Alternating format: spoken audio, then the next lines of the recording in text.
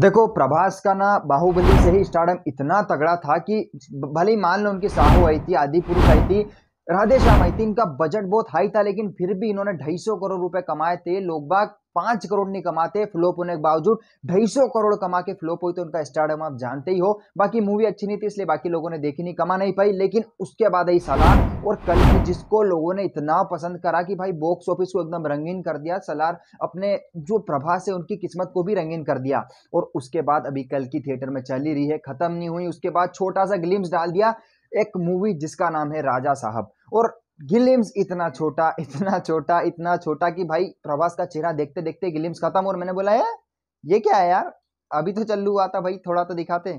लेकिन ट्विस्ट तो तब आता है जब पता चलता है कि ये मूवी लव स्टोरी होगी कॉमेडी होगी और फिर पता चलता है भाई हॉरर स्टोरी भी देखने को मिलेगी। भाई मैं एकदम शौक कि ये क्या हॉरर स्टोरी भाई हमें इतना मत डरा देना कि हम राधे श्याम जैसे थिएटर छोड़ के आ जाए और फिर बोले कि भाई ये तो आदि पुरुष से भी डरावनी पिक्चर निकली।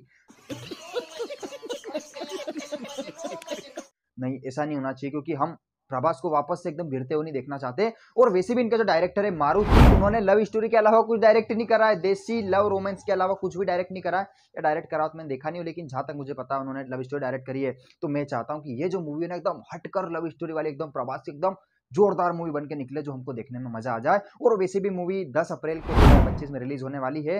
भाई मूवी का इंतज़ार तो रहेगा और दिल पे हाथ रख के एकदम ऑनेस्टली से क्यों ना तो भाई ये मूवी में ज़रूर देखूँगा ज़रूर देखूँगा। और वैसे भी प्रभास ताव में आ गए वो रुकने का नाम बिल्कुल भी नहीं लेंगे। भले ही मूवी फ्लोप हो जाए, लेकिन ढाई सौ, तीन सौ तो ऐसे ही कमा लेगी। तो भाई, ये था आज का मेरा रिव्यू आपको कैसा लगा? प्रभास आपको पसंद है कि नहीं? बस वो लिख दो यार कमेंट में।